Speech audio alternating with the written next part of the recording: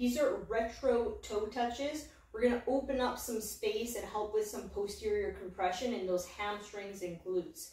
So you're gonna set up we're gonna be walking backwards in a small step. I'm gonna take a little step back so that way my back toes anywhere in line with kind of that mid-foot, front foot to mid-heel.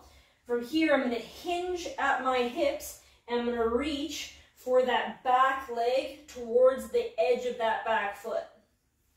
Come back neutral and then switch feet, hinge back, reach. Matching our breathing here, we're gonna inhale, exhale as we come back.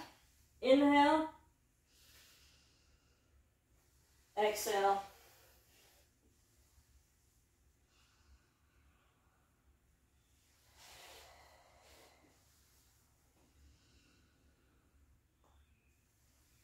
We want to make sure that from behind that we're trying to keep that hip reaching straight back as opposed to kicking out to the side, right? So keeping that hip straight back the entire time.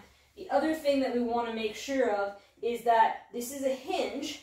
We want to make sure that we don't really straighten out those knees and reach back because then it's become more of a hamstring as opposed to getting that glute and hamstring. So like I said, it's a hinge position where both of those shins are staying relatively vertical as we reach back. So be patient with these. Take your breath in, exhale as you come back, switch and match the breathing.